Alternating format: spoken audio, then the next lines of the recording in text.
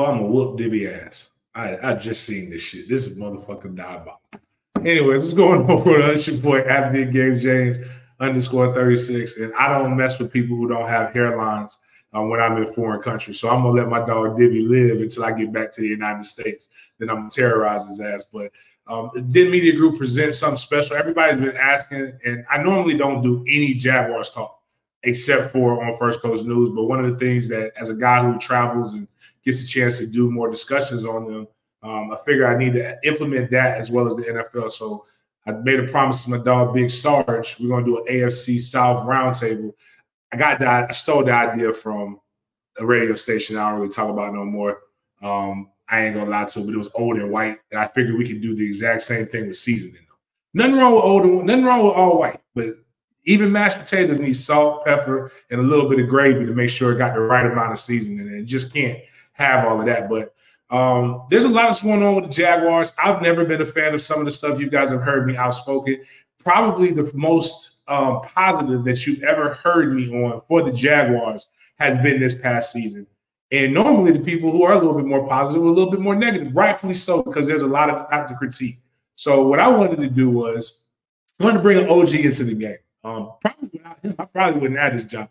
He walked so I could run, or whatever the fuck you say with those things. But like he said some outrageous stuff, enough outrageous stuff to get the palate ready for me to be able to come on there, come on radio and say things like, um, OBJ might be a fairy, but that fairy can ball. And I don't care who's splitting you into or who you splitting into, as long as you score touchdowns. So he helped me be able to say these kind of things so I'm going to bring on, and excuse the chest here. I'm I'm out, I'm out of the country, so you got to show you. You got I got to get a tan. So I'm about to go to the beach in the spa after I leave here. But I'm gonna bring on my guy um, Anthony Wiggins. You guys know him on Twitter as, or you know him as T Wig. He's shop talking wig on Twitter.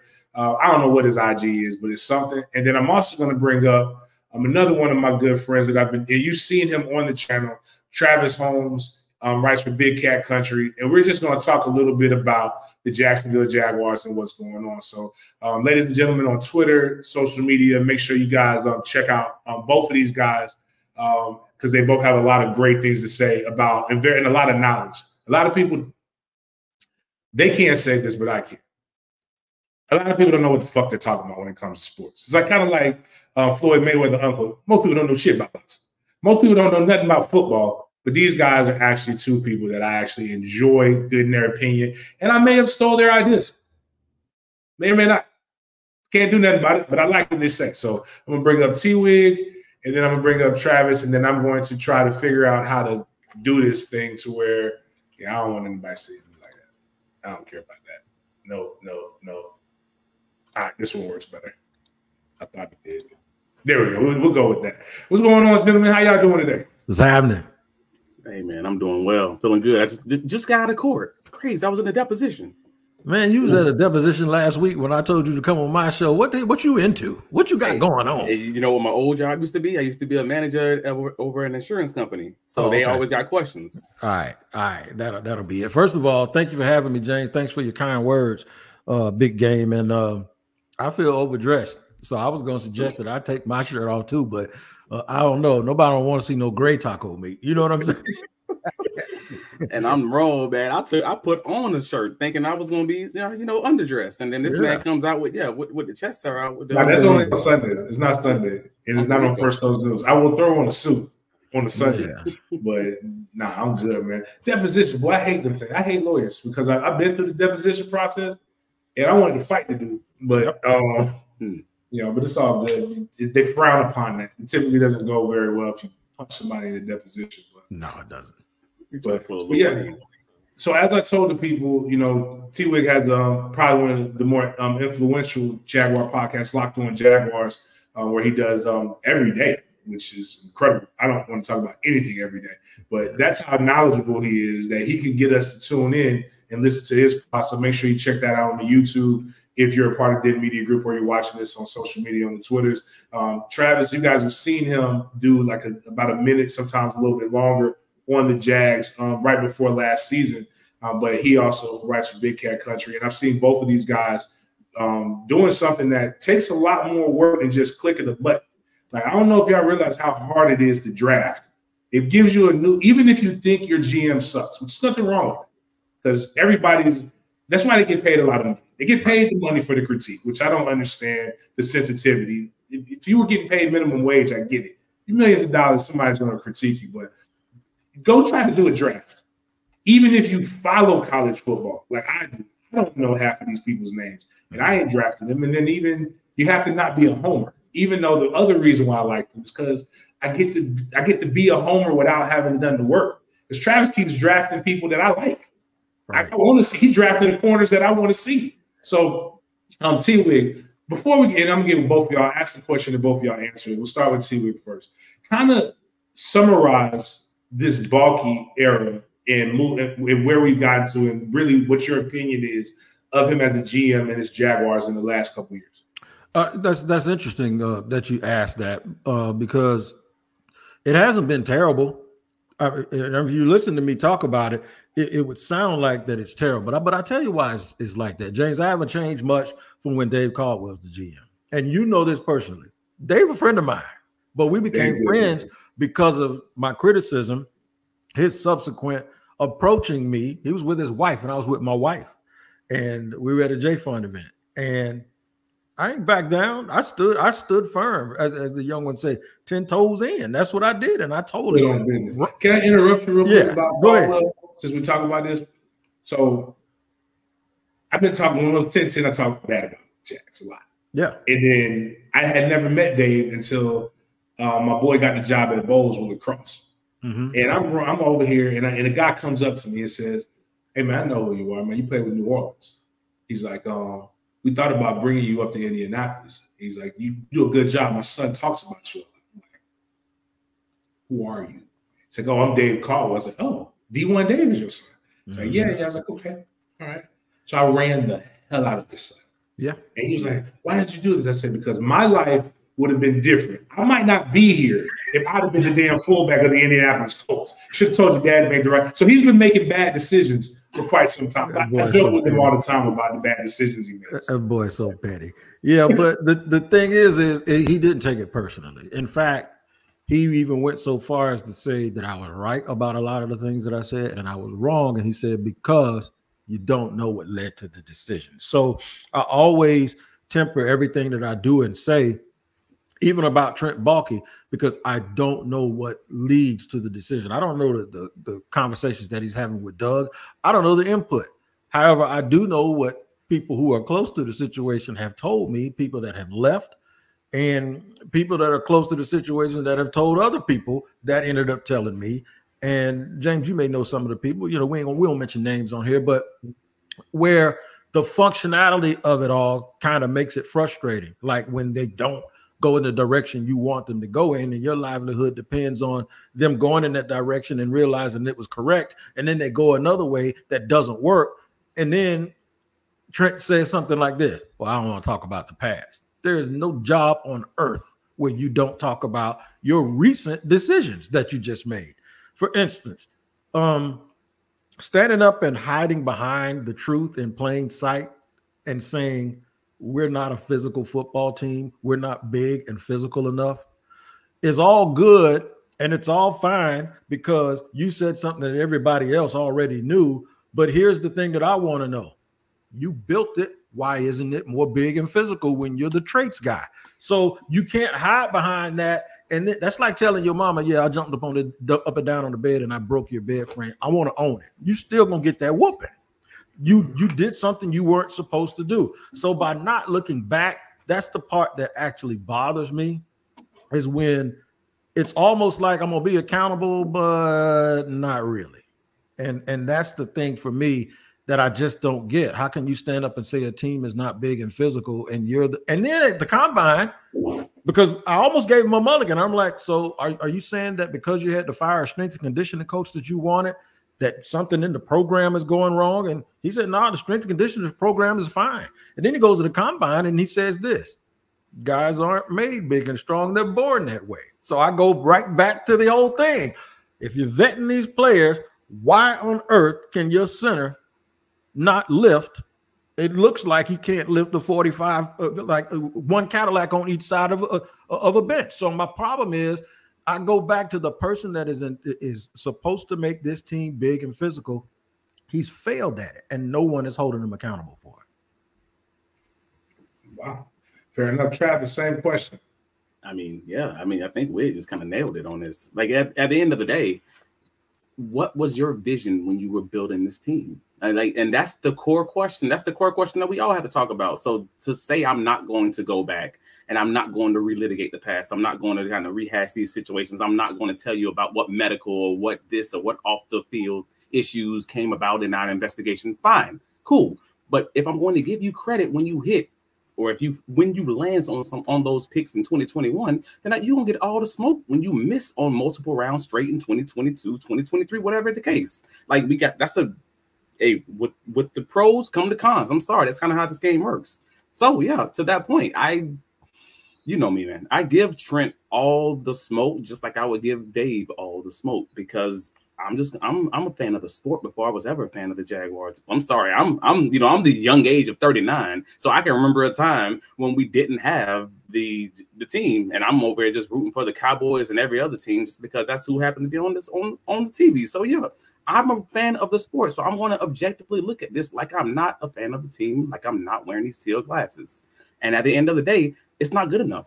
Yes, he took over a train wreck a few years ago, yes, you also had a clean slate to make this thing in your image. And if this is your image, then your image ain't good enough. You can work on work on that, buddy. Like, I'm sorry, you got to get that better. So we're gonna compare it against another team, like, and I always look at the Detroit Lions because they were in a very similar situation when they took over their rebuild. That image is an image of strength they built from the trenches, and then they added those skill players. Jaguar skill players, not bad. Like they're doing real well in those areas. But however, everything about this team screams finesse and that's from the receivers blocking outside. That's from your tight end blocking in line. Like that's from your running back and how he always looks like he's getting knocked around like a pinball. So you you know you go with tank and then you know trying to you know you, you get a tank and you hit build this whole like uh I don't even know what to call it media thing about having a tank and that's great and that's cool. But does it materialize on the field? You, you're not even having a fullback on the roster. All these things. It's just it, it's on and on and on and on to like you have to question not only the GM, but honestly, it sucks to say, but you gotta have to question Doug too. Those, those are some real conversations because nobody wants to give Doug the smoke because they hate Trent so much. But that those go hand in hand. If y'all in lockstep, then y'all gonna have to be in lockstep out the door if this don't work out. At the end of the day, if I gotta, you're the chef. The coach is like you gotta cook the food. If the food don't taste good, don't nobody know if it came from Walmart, if it came from um Rose or wherever it came from. Bottom line is the food got to taste good when you give it to me. I thought we were heading into a serious um, role because this is what I think. They're, they're, they're, they're trying to get rid of this position, except for the good teams. All the good teams have fullbacks.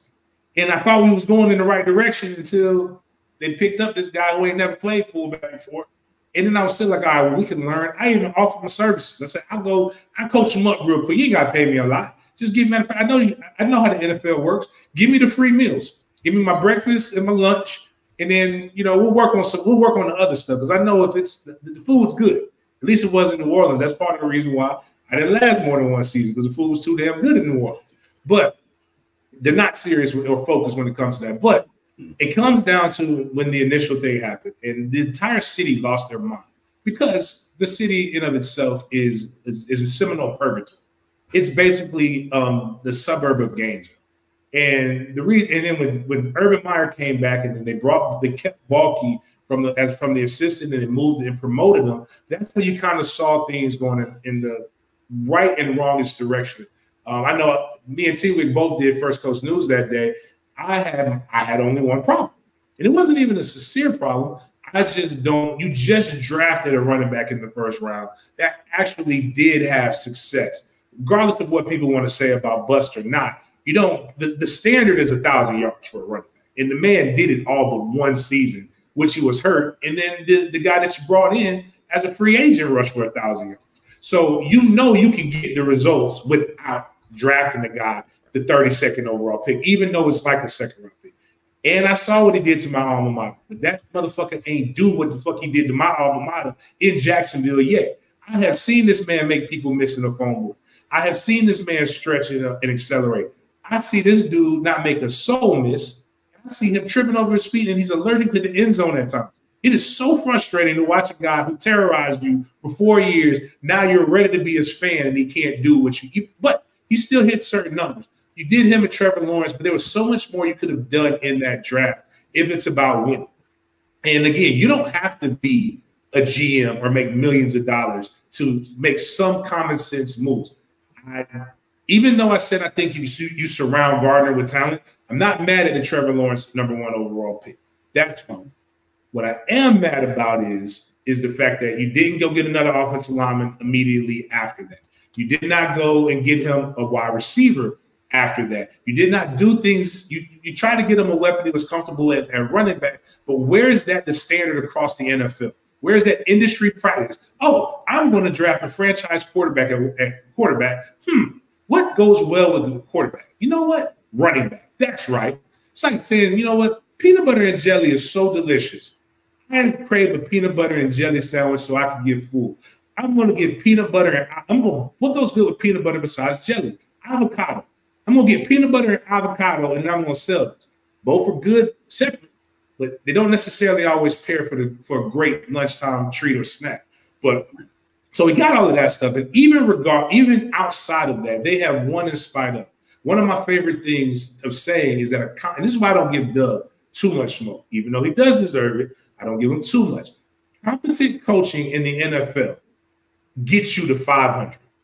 A good coach, and, and when I try to explain to people why I don't get as emotionally invested in the NFL as college, you can lose games. 17 game schedule, most of the teams are going to fall in between nine and eight, or excuse me, yeah, nine and eight or eight and nine. Yeah. teams that are two wins above that, guess what they get? Yeah, they might get a bye. But you definitely go into the playoffs if you win, or as I say, win 10 and you're in. If you if you lose more than if you lose more than eight, or let's say you go to six, that means you're probably going to be a top 10 pick. So it's most teams are right there in average. So they got the pieces. That's why I think Doug is good, except for this year. Doug's first year, the way they started was piss poor. The way they finished was amazing. Last year, the way they started was really, really good. The way they finished was piss poor. Is that a, a result of coaching, just coaching lapses, or just clearly not having enough talent to be able to maintain what you need to maintain in the NFL? I, will go first here, Trav. I, I, think it's it's a lack of identity. The, the Jaguars remind me of.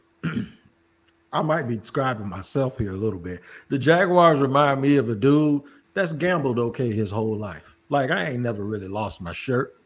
No pun intended, James, but I never really lost my shirt. I ain't never got rich but I kind of won more than I lost. You know what I'm saying?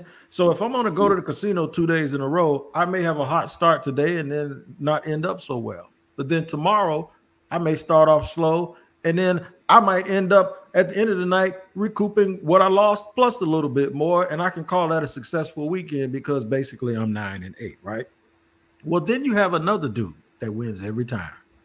He does the same thing every single time because he knows who he is. And what we're describing are the Ravens, the Chiefs. Those are the teams where when you put that disc into that hard drive, it's going to be the same thing every single week. You know who you are, you know what your mission is. To get back to your point of James, they took ETN because they needed speed. Then they signed Phillip Dorsett, they needed speed. And then last year in the draft, which was two years later, they drafted Tank because they needed to be more physical on the goal line. And they drafted Brenton Strange because, see, to me, that's cherry picking. To me, if you want to be fast and strong, those are things that are just synonymous with the way you go out and evaluate. You just go out and get fast, strong people. That is a that is a non-negotiable, and you don't have to go cherry pick. Well, we need speed. Let me get this fast guy because I'm gonna hip you up to something one of the so-called fastest teams we've ever seen in the NFL was the Dallas Cowboys in the early 90s. Let's go through the, the skill players. Was Emmitt Smith fast? No. Was Jay Novacek fast? Was Michael Irvin fast? No. You know where they were fast? They were fast, but but you know, I mean, I mean, track. Hmm? Michael Irvin taking a bump. Mike, oh yeah, yeah. everybody. yeah, yeah. everybody fast with that booger. A little faster, yeah. About, but my thing is, is shout out to Michael Irvin because I think he's doing real well right now. But the, the thing is, where they were fast and where they had their advantage is in the 320 pound linemen were faster than everybody else. That. Leon Lett was 6'6, 300 uh, pounds, and he was faster than anybody his size. So now you have relevant speed. And now it looks like your whole team is fast because you're fast in places everyone else is slow. And where you're not fast, you're just very, very good, like Emmitt and and and Irvin and those guys were. And eventually the cumulative effect on that wears you down. What is that called? An identity. That's what that mm-hmm. is. That is a DNA, that is a fingerprint for a football team. And the Jaguars just don't have it. You don't know what you're gonna get from week to week. You just don't. No, I think I agree. I, at the end of the day, if you don't know what you want to be, and if all that you wanted originally, if it was just, I'm just going to gather guys, I'm just going to gather talent, and I'm going to let the coach figure out how to use that. And then the coach has their identity, which is just, hey, I'm going to pass this, I'm going to pass, pass, pass, pass, pass, and then try to close the game out running the ball.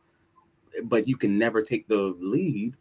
Then it's never really going to matter. You're never really going to be able to establish that running game when you feel like you need to and when you want to. So in 2022, that's kind of what it always was. It was always them coming back at the end. And we say 2022. Let's not pretend the first half of 2022 didn't count. Like, like it just didn't matter. Like they just got a mulligan for all those first, you know, first half of the season. That streak at the end of the season, while it was great, does not. You can't just like eliminate that first half, and you and especially after seeing 2023. Well, all right, it's kind of looking the same. Like that that switch never it never flipped. And Christian Kirk said this towards the end of the season. He was like, "Hey man, we were all expecting that that that switch to flip at the end of the season because it just happened the year before, even though none of us can tell you why it happened." That's kind of where they are right now. Their identity essentially was, "Let's just hope to get to the end of the game and let's just come back somehow, some way." If that's your identity, man, that's that's that's a wish, bro. bro that's, like, like a, that's like throwing a jump ball, James, on third and fifteen. Yeah, you you just hoping to hit that street. Yeah, you just hoping to hit this street. You just hoping that it just turns on out of nowhere. And if it don't happen, then everybody got kind of got their hands up and their hands out at the end of the season. And that's kind of what we are. You brought up a great point, Wig, about gambling. And I think that is the identity of Trent Baalke. Um, the the Ridley pick was a gamble. It was like, let's be honest, the man hadn't played football for almost two years. Um, he was already old. I always used to joke about people say, shit, Calvin Ridley my age. so I mean, I'm talking about him they didn't realize how old he was when he got drafted. Um, but explosive nonetheless, great footwork. And you thought one of his traits was how he ran routes and the consistency that he would bring to that. Now you add that to a guy who I told everybody, Christian Kirk is not a number one wide receiver. What is he? He is a great number two, which is nothing wrong with being a great number two. Evan Engram provided you something at tight end. And the person that I actually, T Wig, you remember I criticized the hell out of him. I call him, I still call him Crazy Zay. I love Crazy Zay now. But like, I knew he was crazy when I saw him put that. What, what, is that a wig or is that really his hair? I think it's his hair, man. I don't know. I, is he I, Indian or something? Nah, I, I, no, no his dad is Robert Jones. Robert Robert Jones looked like me, so that can't be it you know what? I, I I uh I'm somewhere between I ain't gonna lie to you, I'm somewhere between Easy E and the Beatles. I'm trying to figure out what that thing is. It's like it's like a pixie cut that ain't been trimmed up right. You Bro, know what I'm saying? And then sometimes like, they get a little moist. So I'm just everybody keep tagging me to my Zay, you need to go to wig. I'm like, I don't want that kind of pressure. Anybody don't don't send them to me. Listen, man. Plus that boy nuts. That's the boy who was running butt booty ass naked. Was it with was it with the Bills? And then what they did was decide to send him to the craziest place that you could send a crazy person, damn Las Vegas. Yeah. Like, don't send that boy there. But when he came, he got the the, the, the, the I don't know what happened. I'm hoping the best for him. He's they dropped the DV charge, but that's when I was like, when that happened, like that's crazy thing. But we didn't have that con- that consistency where all three really played at one time. And when Crazy Zay was out there on that field, Trevor, like forget Christian Kirk, Forget Calvin Ridley. It was something about what Zay brought to the defense. He was the take the top off the defense guy, as opposed to what we thought Calvin Ridley was going to be. But injuries, craziness, regardless, we did not have that. Um, and and we learned that and I, and I hate the terminology because we see it everywhere else. Now you saw it on a bad scale with with um with Bryce Young and God, that's child abuse what they're doing to him in Carolina, what they did to him. But when we look over to the look over to the Midwest, little Southwest, and we see what our, our division rival is doing, it's crazy where you can put the game like you can't put the game in Trevor's hands, but he's generational, he's iconic, he's all of these these superlatives that they give people, but he had the opportunity and he should have been the better quarterback in the final half of that season. What were we eight and three when we went in there, and then we played eight back or whatever many games remaining. We played nothing but backups outside of Lamar Jackson, and was it outside of Lamar Jackson? Oh, and, and we played the Texas. So outside of those two games, we played backups. Rookies, we should be able to dominate them. But when we see what the Texans are doing, should that kind of make Jaguar fans a little nervous right now, or is it just the thing where we hope that they have a sophomore slump like what we just had. Go ahead, Trav.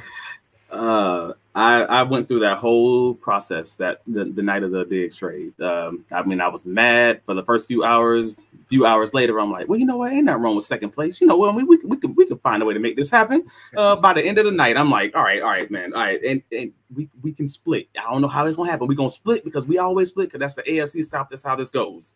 And by then, I'm like, all right, whatever, we'll figure it out. And that's I've gone through that whole little, you know, grief, whatever you want to call it, process to come to the same conclusion of uh, I'm I'm not the wish guy. I'm not the optimism guy. I'm not that guy that's going to just hope that it happens because I support this team. That's that's not who I am. And if I'm always keep it 100 and keeping it 100 is, yeah, absolutely, I'm fearful. And I ain't even fearful for, for just the quarterback. I'm, I'm fearful for the offensive coordinator. I actually appreciate their leadership. I appreciate their GM. And that's again, this ain't a Texans podcast, but that's again, I am a fan of the sport. So I am objectively looking at this front office. I am objectively looking at this team and how they do things, and then comparing that to what we have. And I'm just like, all right, yeah, that's something that you should be scared of. And if you're not a little fearful of that, then you probably ain't paying attention. You're right. And um, I will piggyback on that and say this for all the fans that that get angry at, at me. I also cover Locked On NFL. So I, I, do a Jaguars podcast, but I don't even do that podcast as a fan. I try to be as objective as I can. And the thing is, is all everybody screamed out, Stefon Diggs, 31. And I said, How old, how old you think Calvin Ridley is? And y'all was just begging to get him back. How mm-hmm. old do you think Calvin Ridley is? Well, he had a slow season. He had 100 balls. He caught 100 balls last year. Okay, so that, that, and it wasn't like Evan Engram where he caught 100 balls and had 400 yards. And I'm being facetious, but my yeah. thing is he he caught 100 yards and had over a thousand. Right? He's a number one wide receiver, and well, he's just going to tear up the locker room. He ain't never tore up a locker room when he first got to know to a place, and he's gonna be a free agent after this year. You think that man's gonna really go over there and mess up his money? And then, by the way, when he gets off of work every day, he ain't in Minnesota or Buffalo no more. He in Houston, Texas. I got two daughters that live in Houston, Texas. That man ain't got nothing to be angry about when he gets off work in Houston, Texas. So the thing is, is we can sugarcoat it all we want to. The bottom line is they got Stefon Diggs. We got Stefon Diggs, other receiver, who while they were together, everybody said Diggs needed some help. And I'm not I'm not dissing Gabe Davis because for what he's going to offer the Jaguars, Hopefully they'll get it because they don't have it. That's a seam, a seam wide receiver. Because even though Evan Engram's a tight end, he lives outside of the hash marks, and we know that. And he lives in the flat. He's not George Kittle where he's running down the seam and you hit him with a 20 yard bullet by aiming the ball at the back of the head of the Mike linebacker, which was what you do in the Tampa 2. So the thing is, is we have to take inventory. All we heard about was Danielle Hunter around here forever. They got him too. And people, Denico Autry's old. Denico Autry is a five technique that can play inside, who is a beast against the run. I mean, what are we doing here? We don't have to crap on what somebody else is doing because we keep falling short. I don't. Trent is just the type of dude, man, that is going to find a bargain. And I was, I grew up Washington fan when I was a kid, and Bobby Beathard did that. He took Dale Green from Texas A&I. He did all of this stuff. He did a whole bunch of things you weren't supposed to do, and guess what? It worked until it didn't. And at the end of his tenure in Washington, they ran him out of there because he kept doing what Gene Smith used to do here, going to Mount Union. And just because you hit the lottery one time, dog, you got to quit buying scratch offs. It ain't gonna keep working. You, you only had one chance to do it. So the thing is, is for Trent Baalke, I think he's the dude that wants to get a whole bunch of sevens. And we just heard, I read something about John Calipari today. The people in Kentucky were tired of him because he was hell bent on proving he could do it his way instead of just doing it. Don't worry about your way. You gotta, you gotta just understand it ain't about you. Bill Parcells, one of the greatest coaches ever, say, I could get you the halftime of the conference championship game. Those last six quarters to win the title is on you. I mean, you said it. I mean, listen, there's guys who me gonna always sell in America, no matter no matter what, and that's basically what, what you're you're describing as Trent. It's nothing wrong with going out here and getting um, better commodities, um, you know, and not being pressured. It, so a, it seems like it's a combination of being pressured into getting what the fans want and then being stuck in your own ways. It's like those top picks. Oh, what's going to cause the excitement as opposed to what's going to help us win? And you know, again, which I think you guys' drafts are a little more um, on the the side of what's going to help us win, which makes me fearful that we're going to do not going to do um, do any of that. Um, but the only pick I've ever really, I did like the um the the, the pick last year. I did like the tackle, even though he didn't play. He played the other. He played the right tackle. He never played when he was, which he played right tackle as a freshman, but he was known as a left tackle. Um, that kind of threw me off. I was not a fan of um, Cam Robinson at the gate. I'm not saying he's not an NFL player, just for what we needed, and then we re-signed him. The only time I've ever seen Cam Robinson be tough was when um, Mia O'Brien asked him about if Walker Little was there to take his position, and then he got tough on the petite white. That was the only. That's the toughest I've ever seen him in my life, which is not a good. It's not a good sign for me left tackle. On top of, and what really made me mad was again, as you said, Trent said you're born that way. Like, like it's a, like you're not born that. You can get stronger. You can get faster. It, it you are born with some things, but that's another podcast. I'm not going to get into my science background. But I'll say this: I am very upset the fact that he got popped for PEDs. If you get popped for PEDs, you got to be strong, man. At least bully people. Yeah. Like Ray Lewis out there doing deer antler spray, the greatest linebacker to ever play. It's like it's like I love. I have no problem. Shawne Merriman, who I got a chance to interview at the at the, at the um, Super Bowl, knocked the hell out of me in college. I knew he was on steroids when he hit me. I ain't never been hit like that before. So when he got popped, ah, it makes sense. Then he sucked after that. So like at least Cam be dominant if we're gonna get popped by steroids. But what do you what do you what do you think about what are your thoughts this coming draft and what direction would you like the Jags to go and do you think Baalke is? Well, I want him to go somewhere where he's never gone and been successful, and that's that wide receiver. And um, the, the one thing I will now, y'all mark this for mark this, this y'all got to stamp this one and bookmark it. The one thing I will say I don't think he's gonna blow is a first round pick. I like the Travon pick. I mean, I I could go. I, I, could, but I could listen to both arguments. I could listen to the argument, and me and you had this discussion plenty of times in my suite, James, in my office. I, I know, I, I, get it. I think this year you finally start to see what uh, what I'm talking about and what everybody. He's a good player. He's a, a real good player. Good player. He's and, and also a large mammal. I saw yeah. him at the Super Bowl. I said, "Yo, I gotta watch my mouth."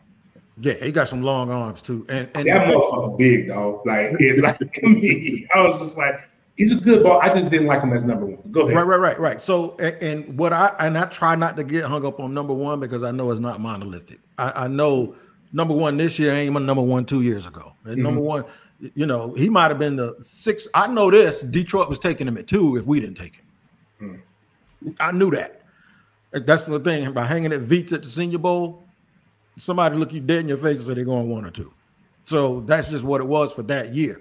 And in that scheme that they ran with Todd Wash, he's a he's a he's a he's a 4B Calais Campbell type. The problem I have with them is their usage.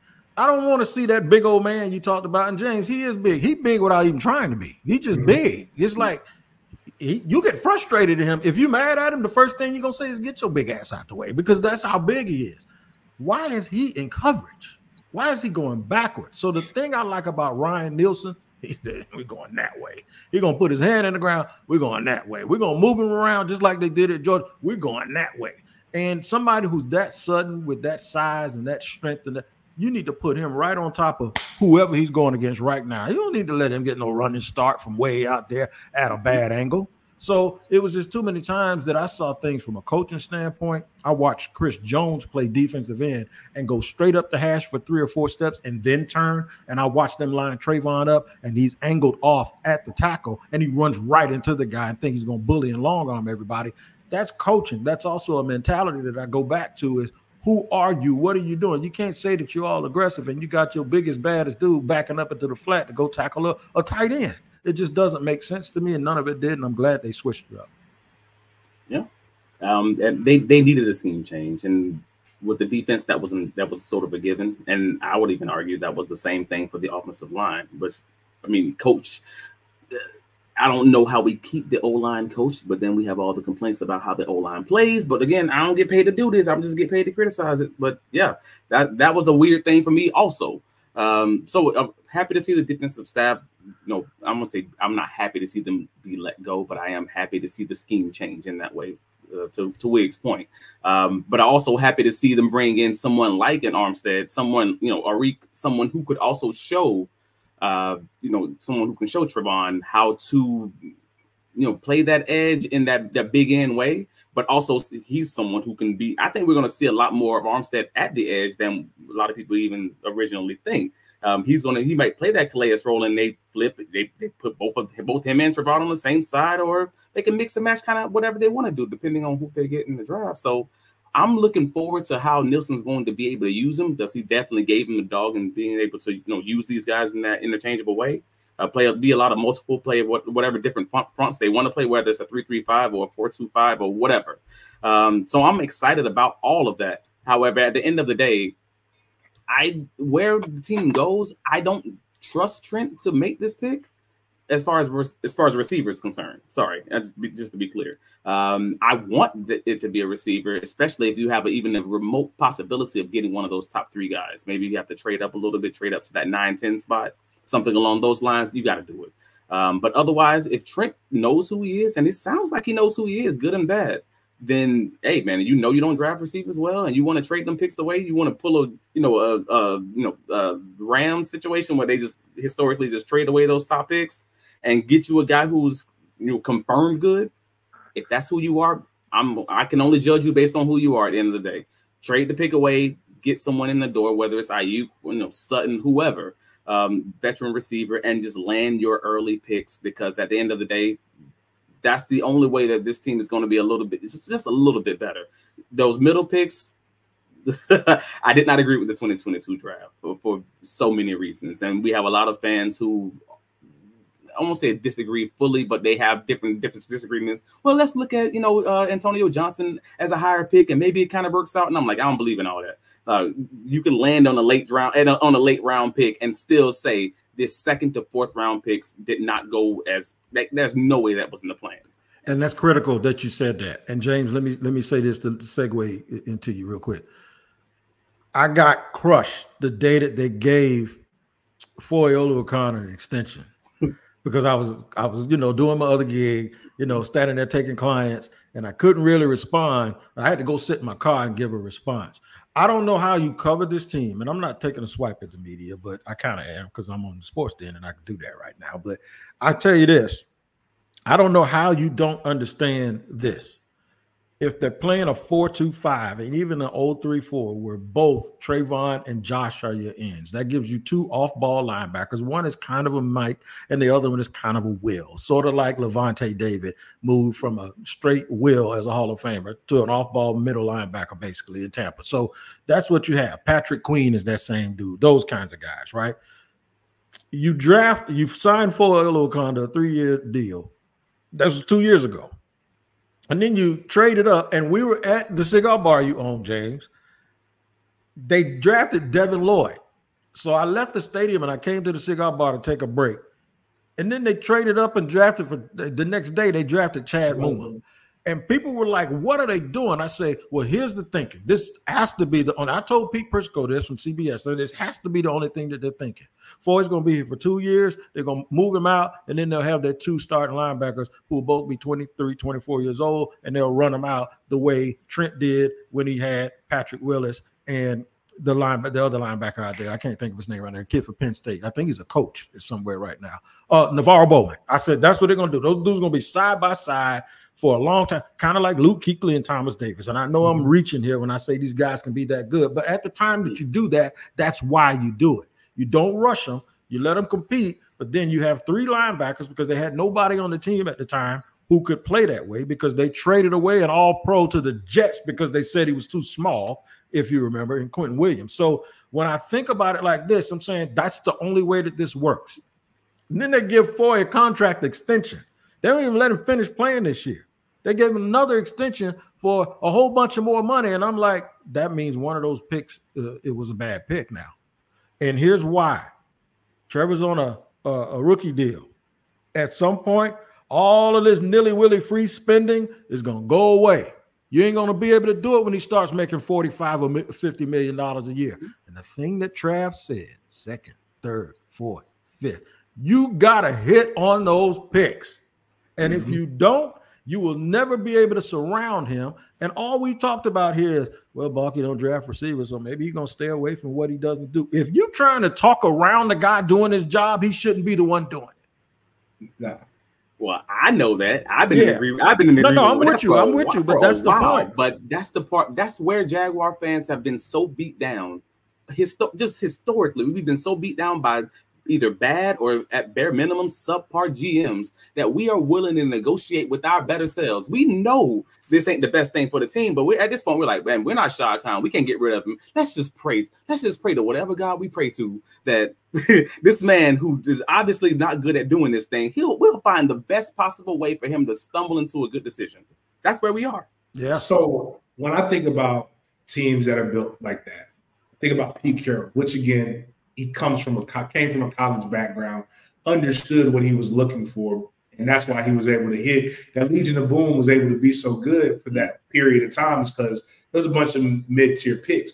If there was a draft to be successful on the defensive side of the ball with mid mid tier picks, this would be the one. Um, and I um, but again, I don't. No, you, are this right. is the homer in me.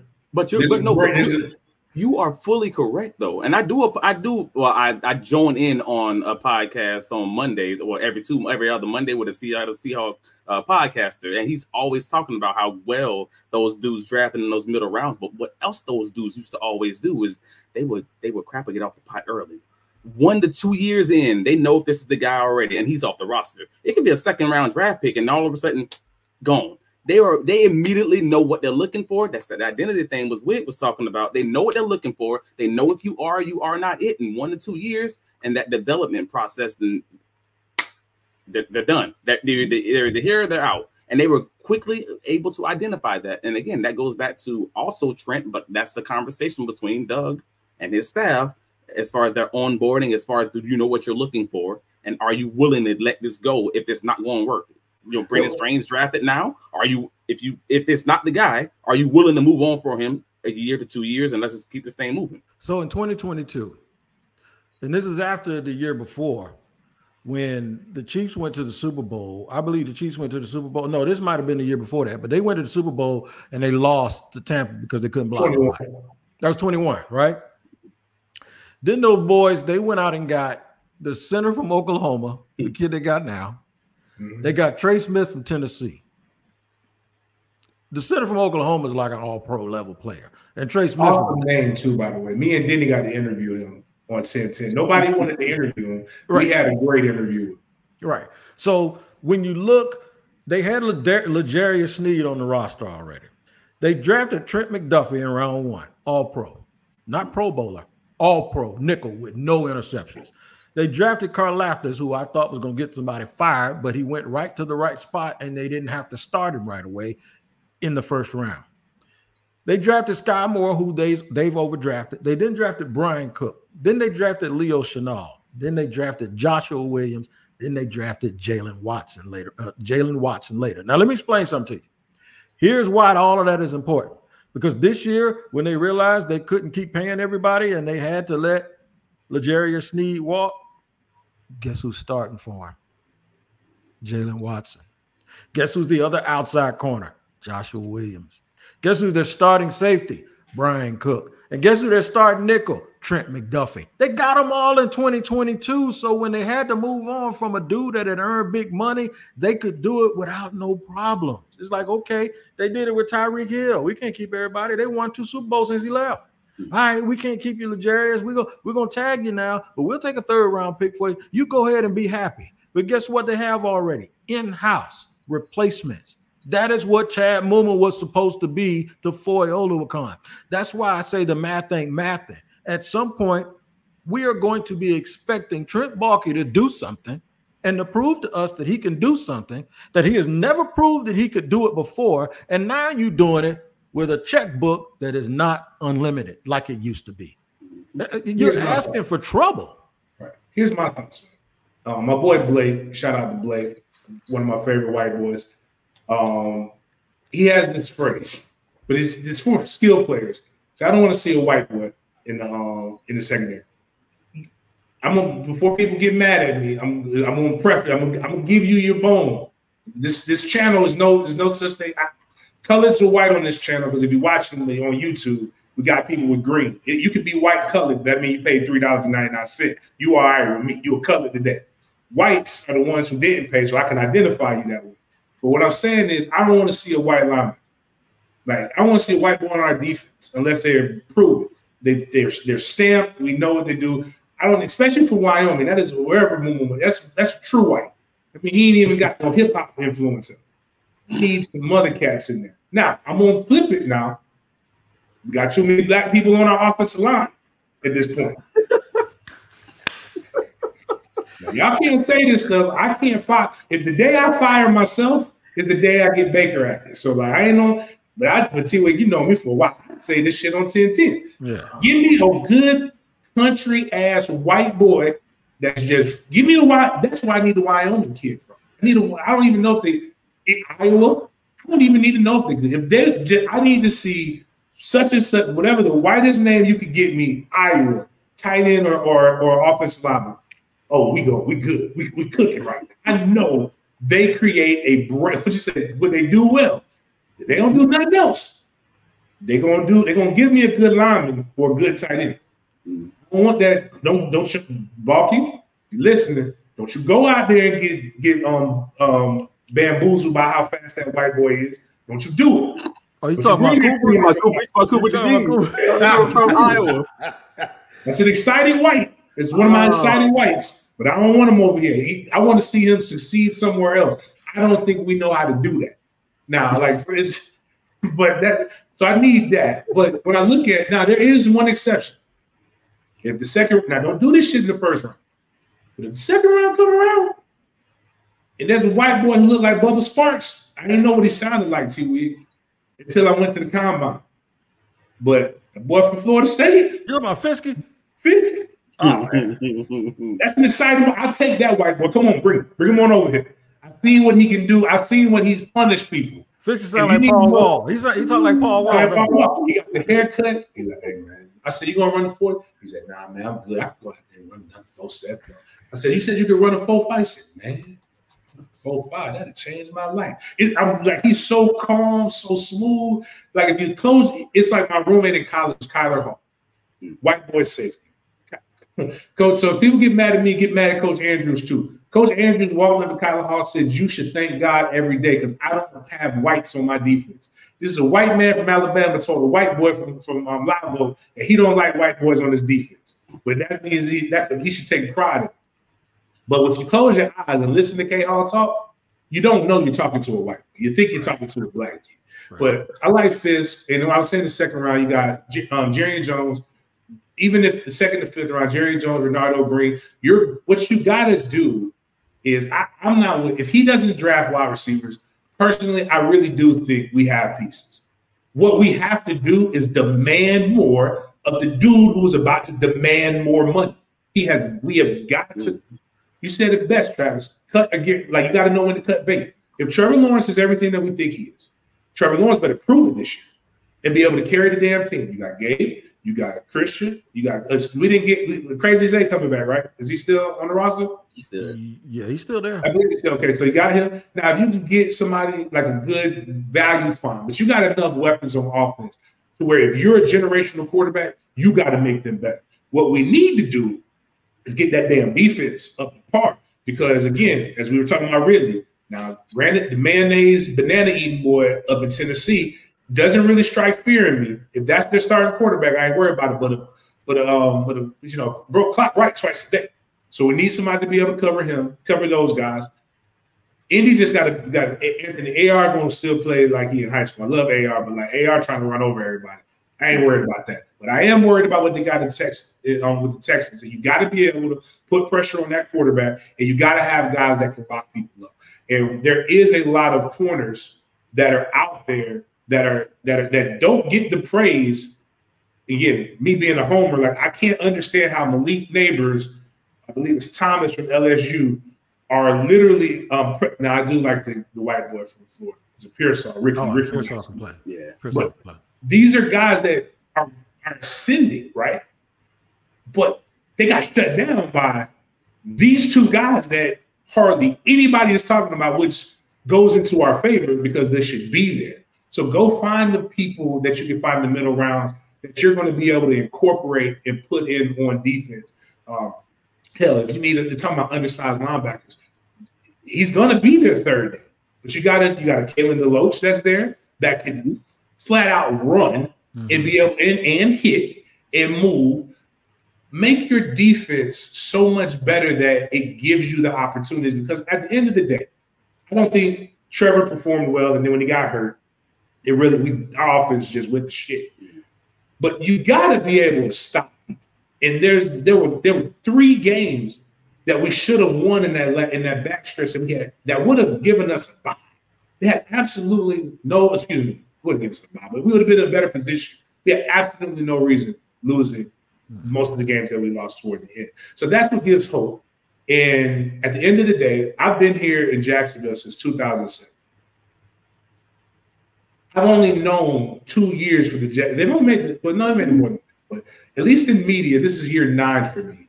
I've only known two years where they've actually been good enough for me to get extra innings. 2017, anybody who was in media in 2017, know that was so crazy. We forgot National Signing Day. Like, like we forgot what to do because the Jags went on a run. So it's not far off. It's be- like they averaged four wins a season since I like in the last decade, including the 2017 run. So I think they're close, but I do think we have to. They've got to demand more of two people, Balky and Trevor Lawrence, and if not, everybody's gone, including um, Doug Pederson.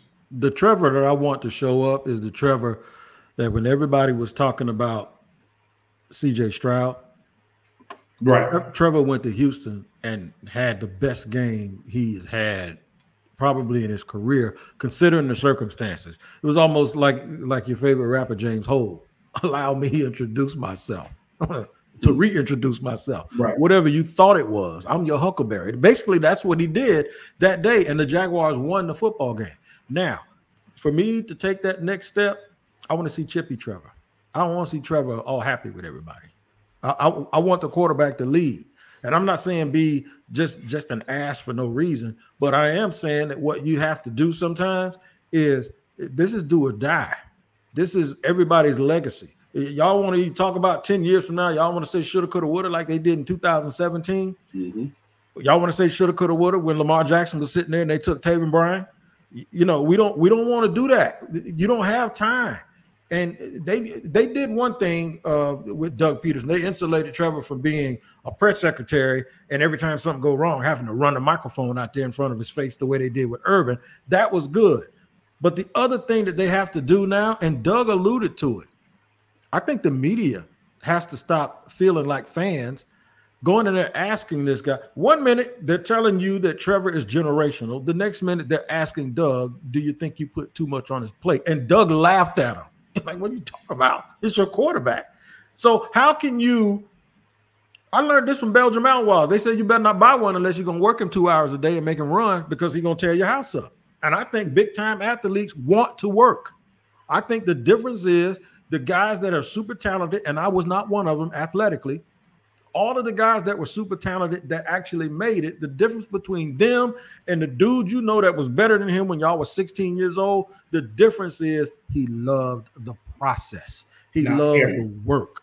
They play three hours, 17 times a year minimum. That's 51 hours. Do you know how hard you got to work? Do you know how hard Chris Brown practiced before the concert when you see everything perfect?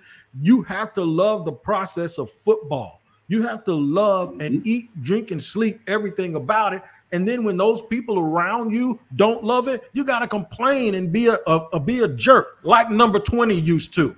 Now, Wig, now you just said something that you know ain't gonna change. We have the most unique market. National radio doesn't work in Jackson. It's amazing. I love it. Right. But in that, we have the most fan fanatic people who are professionals, which is why, you know, point of point of contention I want to make, and then they don't listen to the fan base. We got way more people on the impromptu just throw some shit together um, on Twitter viewing than a local radio station that has a bunch of fans that that cover it. But I'm not going to say any names or drop any hints. But two of the three people on this panel actually worked at that shit. This could be theirs.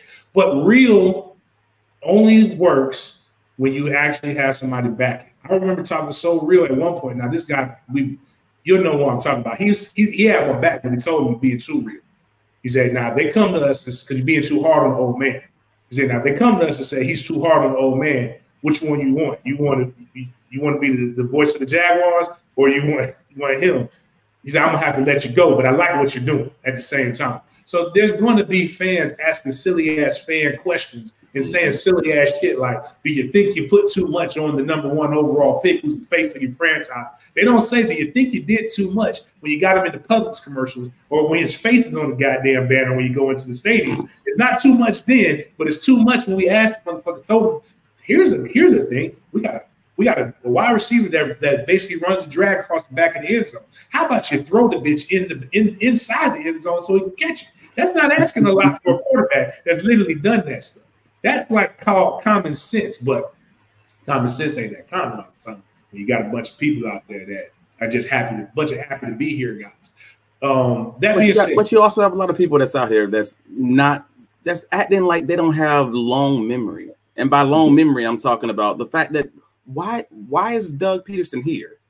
Why did Doug Pederson feel the need to insulate Trevor in all these ways? Why did Doug feel the need to bring in multiple quarterback specific, like quarterback centric guys around this offense, like whether it's the OC, whether it's the passing coordinator, whether it's uh you know the the even the goodness gracious the uh tight end coach, sorry. Like all these guys are have they have a history with the quarterback specifically because you want to make sure everything that we're doing is focused on this quarterback and making sure that's going to work for him.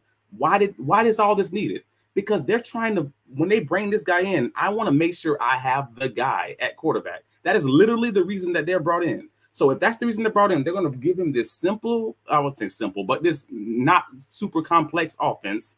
Give him this base, make sure he's good, he's good with his reads, build that base up, and whatever we have, we'll know that in the next few years, whatever whatever that ends up being. So then you can't then turn around at the end of 2023 asking the question of, are you putting too much on him? And it's like, wait, what are you talking about? Like we literally are spoon feeding this this offense to this guy to make sure it's built to his standard, to what he wants.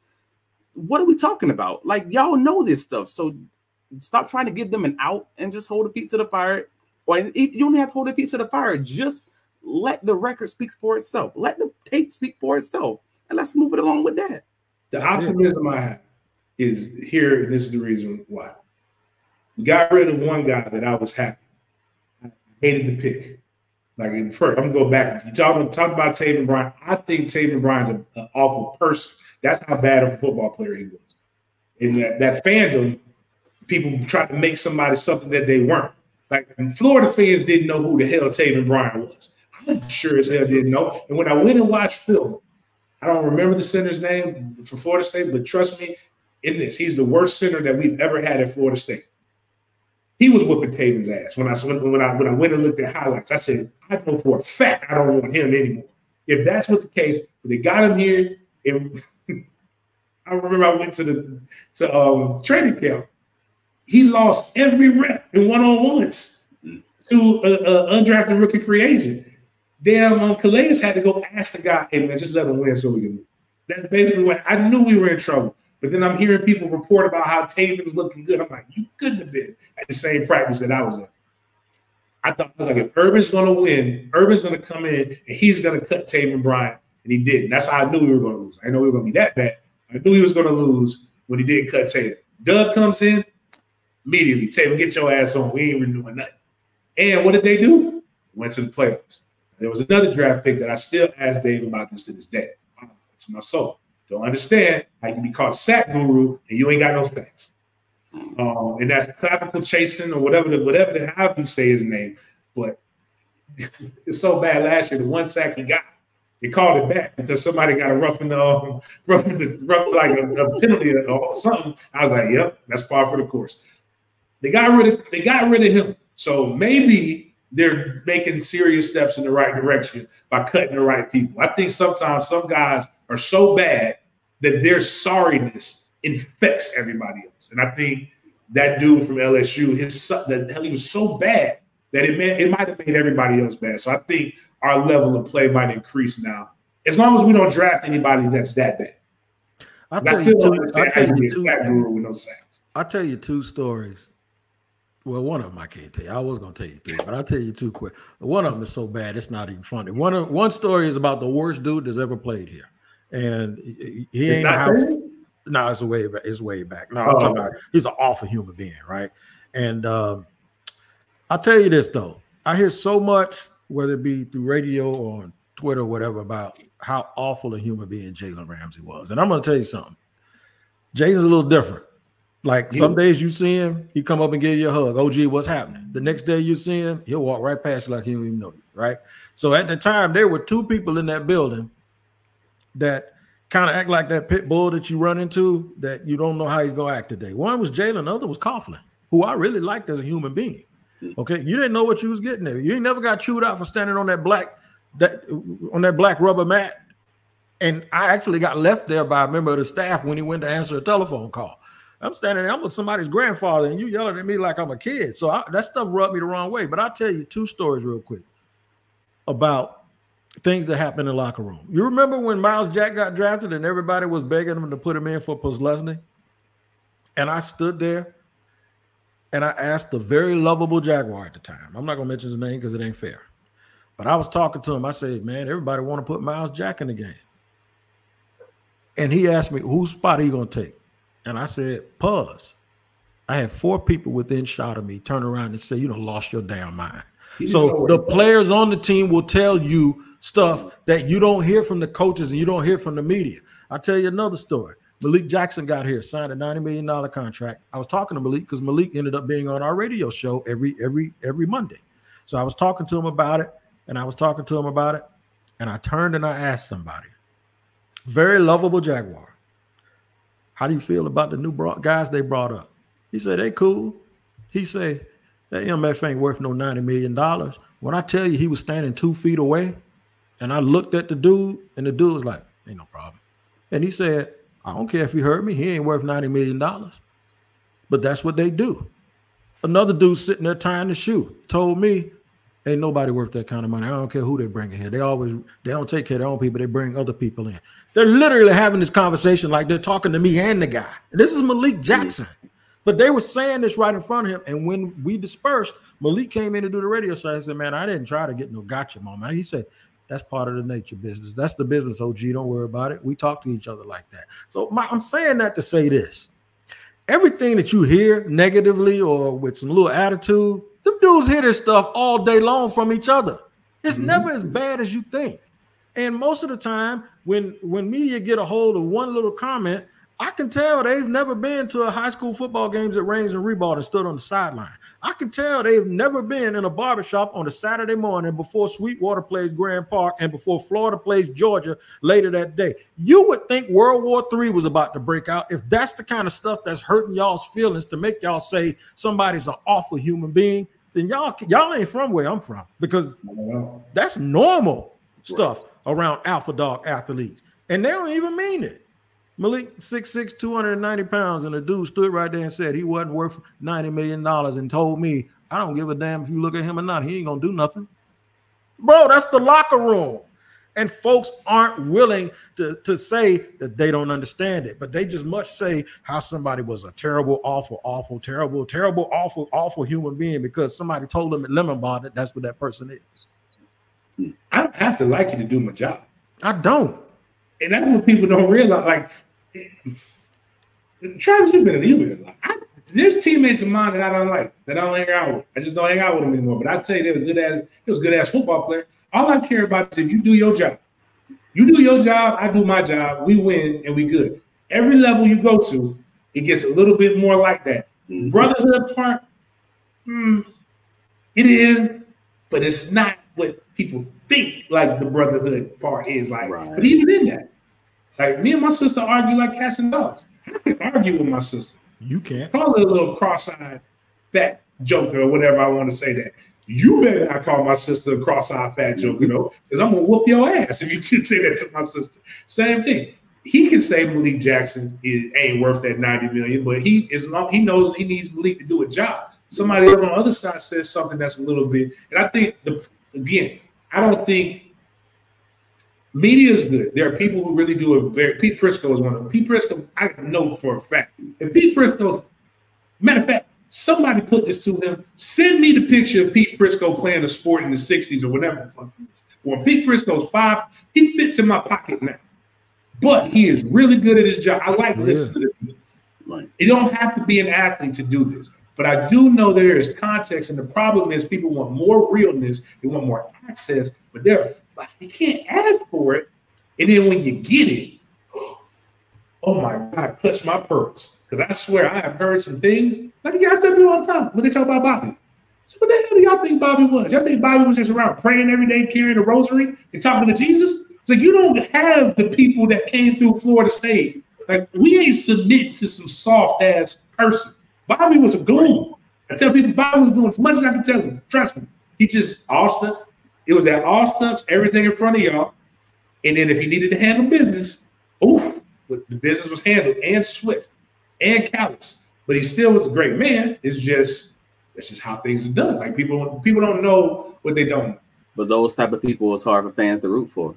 That's what it comes down to. This ain't this ain't this got nothing to do with the team. If you want, if you only want the team to succeed because they have guys who you can personally root for, then you don't want the team to succeed. Just say that. Like at the end of the day,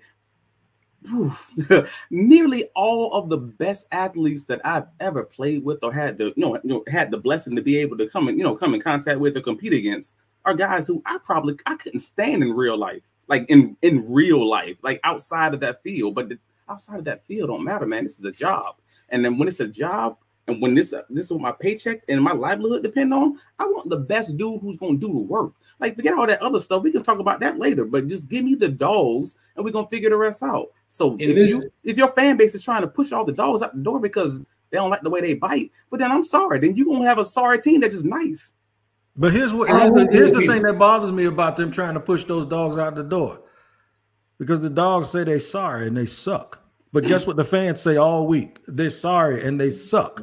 But when the person who actually works in the building says it, all of a sudden you're wrong, or you gotta go, or you're causing a problem like I, I just, I, I, just, I just don't get it, and I don't, under, I don't know how. Like a guy like Yannick Ngakoue, they say he tried to fight everybody in the building. Okay, yeah, you know what? I try to fight everybody in the building too. If I know I'm better than that joker in front of me, and the only reason he's playing because he was the third overall pick. That's the first thing. The second thing is I'll try to fight everybody too because in a game where I'm still that's real competitive, you keep inserting Taven Bryan in the game, taking me, Calais, and Malik Jackson out of the game, and wonder why I'm blowing up over here on the sideline. Hmm. It's because you're not trying to win. You're trying to fit your agenda and cover your own, you know what. And players arguing it, fans arguing that players don't understand. The players are the ones that had your back. They're trying to win the game. These dudes, even though they're making their money, they want to win. They don't want to keep losing and, and having that feeling. But when the team keeps doing stuff behind their back, behind their right. back, the right. team keeps doing stuff. Players have more access, players have more understanding, players know what's going on way more than we do. When for whatever reason we because we're fans of the team before we're fans fans of the player. We're always going to side with management, even when it don't make sense and it's illogical, and we have to be able to own that. We all have worked for people that we thought were idiots. And that's the funny part. Like the fans know you get mad, you want to fight your employees, because not your employee, your, your fellow um, workers, because you know your boss puts you in a bad situation, or there's a there's an employee that the boss always shows favoritism. I hear it all the time when people who actually have jobs talk about this stuff. That's why I don't understand why they the sports is a microcosm of society. That being said, I don't want I don't care if they're a good person. I don't want good people on my football team. You know what I want? I want guys that are that if football wasn't there, I don't know what they would be doing. I want people like I had teammates that I was so grateful that God invented this beautifully violent game so that they're not there to rob us. Like that's what I want on the team. Um, who was the big? He was a right tackle for us from Ole Miss, played basketball. Very angry person. J- Jeremy Parnell. Jeremy Parnell is one of the meanest people I've ever met in my life. I love Jeremy Parnell. Jeremy Parnell came, I had to train his son. He was so angry, like he wanted to beat his son for wanting to be a quarterback. He was like, "Look at me, son. You don't, you ain't no quarterback." And it was funny. I popped him on Denny. I said, "Oh man, I train him. Oh, you want to be quarterback? Hey man, meet Denny." And he came in. It, Jeremy Parnell had a dingy wife beater with that little strap that's kind of broken off a little bit, so it wasn't fully connected. He had on some AND1 shorts, some Dollar Tree flip flops, and he was ashy. Anybody who walks into a room like that is does not care about your life or his. He's ready to fuck everybody. And I need that. That's what I need. I don't care if you go to church every day. That's fine. Even if you believe in the Bible, right? Go read the book. David's my favorite person in that book. David had some mighty men. Go read that and then you'll change your whole perspective. David had about 50 goons that was ready to do whatever they needed to do. That's what I need on a football team. I don't need right. yeah. Tim Tebow didn't get cut because he loved Jesus. He got cut because he wasn't good. Hey, hey, man, about that stuff. You, are right. And and Game of Thrones is one of my favorite shows, except the second half of that bootleg last season. But yeah. still, they stepped on that, didn't they, James? But um, just still, you know what happened? The people who was on one side of the wall got with the other people that them people that was out there, you know, them White Walkers or whoever mm-hmm. they was. I don't know who I can't remember the name of them, but they got with those people with the giants and they say we got another enemy and we got to take care of right now. Oh yeah, they got with the wildlings and the wildlings. The wildlings, right, right. You know what? We, we, we got to beat them. I know we hate each other, but we got to beat them right now. And even from a political standpoint, which I, I hate really talking about politics, especially being a barber, but I never see any of um, Nick Bosa's black teammates not dap him up when he gets a sack because he votes differently or he may voice certain opinions. And I never see him not dap them up because when you're a gladiator and you have a job to do, you do your job. It fans ain't gonna matter who people vote for, who they get along with, who they hang with. Nobody gives a rat's you know what about none of that when it comes down to football and winning. So I, that's why I want fans and I know I'm beating a dead horse when I say this, stop worrying about whether you like a dude or not because of his personality. And then saying, well, he trashed on the organization. The organization didn't need nobody to piss trash on them. They were trash when they left here, before they got here and when they left. And y'all hmm. say it every single week, but yet and still a person that works in the building can't say it. That's the that's the weirdest thing to me. I want bad people with that that have intentions of winning. Like that's it. I don't really care. Like again, if you're good and you can do that, great. Right. At the end of the day, it's about football. It's about winning. It's about expectations. Like because again, it's a lot of good people that get cut because they couldn't do their job.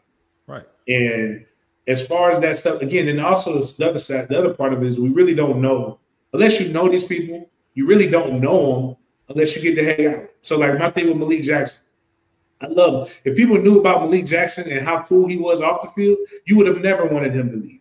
Never. Um, if you knew about Calais, if you knew well, people like Calais. Calais was one of the good guys that can that can ball.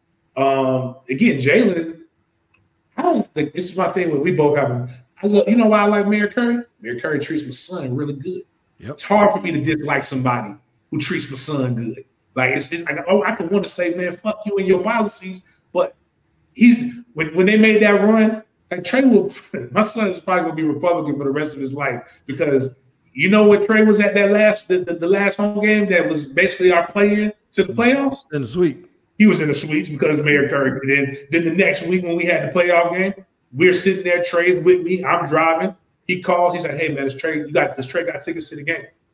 He's like, "Here, I got two tickets for you. I'm gonna send it to you right now." So he's like, "Shit, hell yeah, that's my guy." That's all he wanted to see, and it was two exciting ass games too. While I had to work, I couldn't go. I was out there doing the First Coast News stuff. But the point in all of that is, is that right now we just need some badasses, and, and, and we need some things to come together. And I know we've been on here for an hour, 15 minutes, and I appreciate you guys' time. Um, but you know, they got to put it together. It's not far off, but man, there is reason to be concerned. But if they draft decently, especially in these middle rounds, there may be um, a silver lining to all of this because at the end of the day, games got to get played. It doesn't matter how good the roster looks, you got to go on there and you got to effectively play the games. Well, man, I appreciate y'all having me. You having me on James Sports Den. I've been a fan from day one, and uh, you took it. You took off, man, and I love it. I love what you did for yourself. I love you, what you've done on the college side uh, with our with the advice you gave my, our friend C.J. Wilson. I talked to Denny two weeks ago. He finally answered the phone, and I told him if he if you don't answer the phone, I told him I was gonna come break his legs if he didn't answer the phone finally, but he finally picked him up. And we had a one hour conversation about all of this stuff, man. And uh, it's just so good to see new faces in the media. Uh, Demetrius is doing a really, really good job. Demetrius Harvey. Yeah, man, it's it's good to see uh, so many faces. And and I take that thing you said real seriously about walking before other people could crawl or whatever. But then my goal was to see everybody surpass what I did. And because if y'all surpass me, and that means you may be standing up on my shoulders because I'm standing up on somebody else's. And my big brother media was Frank Frangie. I'll tell anybody, Frank been on me for 20, 25 years. I called in high school scores to Frank when he was at the time junior. And just like he encouraged uh, people to do more for walking on charities, Frank gave me a little bit of a charge. He said, find somebody, we need your voices in the media. So everybody, and every time I get a chance, man, I do it. And this is white guys I like too. Shipley, I ain't like Cooper. I ain't. This ain't a Cooper DeJean moment now. I, but there's good people too. Ship got a little brother that's um Ship uh, a student assistant at Florida State now too. That one of the first people that really supported a lot of stuff. Uh, Griffiths, Gus Logue, there's a lot of people. Alfie Crow for a long time. Me, yeah, Jamal. Me and Alfie used to go have some good battles, but Alfie was was another one. Uh, Dilla, all of these dudes, man, everybody that is is putting out positive contribution. And a lot of people that still work at my old radio station. I'm still cool with Fat Tony, all of us do. Just I like the good content. What I don't like, I just I just want us to, and I say this to anybody who I didn't mention, and I'm sorry you got to take the fan side out of it because if that's what you're going to be and that's what you're going to do, man, is that's going to be short lived. Because I'm going to tell you something, those fans going to turn on you too. Believe it or not, they're going to turn. They will turn on you so fast it's not even funny. The first time you say something that you're not supposed to, so why not just be authentic from the very beginning, man, and just call it what it is. One of the funniest things about fans, it was yeah. I'll go back to the 2017 season. And I remember, and the lady got really mad at me. She this I knew she was mad she went and commented on her Facebook page and she sent the email to Griff. And she was just like, when it was after they took the knee and like, And they're like, they just lost fans for life. We have a whole section that's not going to come anymore because they took a knee and, and they hate America and this. And I said, let me ask you something. Like, and I, I was like, man, she texted. I'm like, are you, are you serious? Say, the Jags have sucked ever since I've lived here. You're telling me that if the Jags make a run, you're not going to get it. I said, matter of fact, let me know where you're at right now. I will buy those, I buy all those tickets from you. No, we want it to be empty so it can make a statement. Man, I went to that Seahawks game when when, when the two um the guys about to whoop that, about to whoop that dude. They deserve a statue next to the Jaguar. They stood on business. Like come these stands, you're gonna catch these hands. I was in the box with um Jalen and his dad with Jalen Ramsey. I love Jalen Ramsey's dad. What was it? Lamont, Lamont, Lamont crazy. I try to tell. Old, yeah, old black man name, and he is truly. Oh yeah. for those who don't know, Jalen little brother and Jalen, damn near identical. Yeah. I'm talking talk the same, all that stuff. Their voices are not as high pitched and they're not as sassy when Lamont around. I feel like Lamont be like, I'm gonna punch you in your chest if you don't deepen that voice a little bit. But we was up there and we saw everything, and it wasn't, it was standing room only. Then the playoffs happened, standing room only again, there's only one thing about America that's the most. It's the most American thing in America, more than apple pie. America loves a winner. If you win, the fans gonna be with you, and if you don't win, they're gonna tell you how bad you are. Or so if your opinion's good, just make sure your opinion's good. If it sucks, you know it is what it is. And I, Demetrius, I, I embarrassed Demetrius. I, I want to apologize for embarrassing him in Indianapolis. I me unapologetically wherever I go. And I was walking out, you know, me with Sheena and I have a camera guy, Steve, with me. Mm-hmm. I see Demetrius. He's just over there. He's minding his own business, being very professional. Demetrius is very professional. I'm not. And I'm like, yo, Dave, what up, bro? I just screamed in the middle of the convention center. He's just like, said, man, it's me, James, man. Stop acting like that, man. These white people ain't gonna bother you. Come on. I went over there, I went over there and dapped him up, man. Because he's my guy. So T would tell them where they can find you, man. And I know you got your um locked on pod today, so we can make sure we go support you. Yeah, Locked On Jaguars podcast, wherever you get your podcast, it's free to subscribe to on our YouTube page. Just hit that bell so you get notifications when I drop an episode because sometimes I'm all over the place because of my schedule, but I do make sure that I drop one uh, Monday through Friday during the season to do a postcast on Sunday. And you can check, check me out on Locked On NFL every Friday, also along with David Harrison, who is the host for uh, Locked On uh, Commanders. All right. Um, Travis, appreciate you coming on, man, and dropping some knowledge, man. Um, tell us where we can follow you and where we can uh, make sure we get your content. Yes, sir. I appreciate you having me. Uh, no, uh, you can ca- you can find my writings covering the Jaguars on BigCatCountry.com. Uh, you can also find me on many different uh, you know podcasts throughout the week. But we have uh, the Duval Dive a Jaguars podcast on Fridays at 11:30 a.m. wherever you get your podcasts. Again, yep, absolutely. Take like and subscribe. Follow me. You can find me on Twitter, Travis D Holmes, Facebook, Travis D Holmes, Instagram, all the social. You know how that goes. Travis's IG is hilarious. Don't let the glasses and the polo shirt fool you. He is definitely got a sense of humor that is a little dark at times. It's great. I love it. Um, love T Wig. Appreciate you guys for coming on again. I'm at Big Game James underscore 36. And I just wanted to, we got a bunch of people in the comments saying, please do this more, please do this more. I love having guys on. I wish um, Dilla would have called because again, I think I'm the person that made everybody realize that Dilla, Dilla was white. I thought Dilla was, I thought Dilla was Eric Dunn. If no, I'll be honest with you, no, no, no, no, no, no. Let me tell you what happened at practice. I think this was Urban's. This might have been Urban's first year. No, it wasn't Urban's first year because it was Urban. Yeah, it was because that we were in the end zone. Remember they changed it and we had to go. Mm-hmm. I was there and all of a sudden, dude walked to me and said, "What's up, man?" I turned around. Yeah, big beard, red beard. I said, "Yeah, what's happening, bro? What's going on?" He said, "It's me." I said, "Who?" He said, "Dilla." I looked again. I said, "Dude, I thought you was black all of these years." I, I did. I, I, and I did not expect. He laughed, man, and we found that. So let me tell you something. You want to talk about a good guy, and you also mm-hmm. want to talk about a connected dude, and he's one of the quote unquote non-media guys. Him and uh, this guy Phil, who actually started the Locked On podcast with me after we took over with Zach. Jackson Phil, whatever they say, lean lean on the side of believing it because they right. plugged in some kind of way. We had this thing when we used to yeah. say on sports. Then if Dilla didn't say it, I don't believe it. That's right. When until Dilla confirms, it didn't it didn't happen that way. But when I saw him and I did during COVID, we were doing everybody didn't know what to do. So I'm like, man, me just throw on here, man. Put Dilla on that thing, and Dilla just came up, and I said, "Yo, yo, who the who are you?" He's like, "I'm E Dilla." I said, "Bro." I said, "Dog, I thought you was black, bro." I said, "How are you?" Like, when I've seen him in the airport, every time I know what he, I know he's not black. I know what he looks like, but every time I see him, it still shocks me. Like it still throws me off. But um, I know Jeff Whitaker with dome hats. They got on um, Dilla. They got E Dilla like the, with the yeah. little like fresh fresh scoops, fresh like from him. So, but nah, man. Again, appreciate you guys. I'm gonna try to do some other stuff, man. Whenever you guys yes, can come on, I much I greatly appreciate that, guys. Everybody, make sure you go follow um my guy Wig. Go follow Travis. And again, um, what we got right now, y'all know once I get that 6,000 subscribers, it doesn't matter if you're a college fan, pro fan, wrestling, whatever it is. We, once we get to 6,000 subs, live on Big Games BS, Monday, Wednesday, Fridays, 9 30 a.m. There'll be a $500 giveaway a random person who's listening. then members, there'll be a $100 giveaway for members only, and then however many likes we have on the show. So right now, we got a ton of y'all ignorant, um, uh, don't listen to nobody. Matter of fact, then there 400 of y'all on Twitter right now. Listen.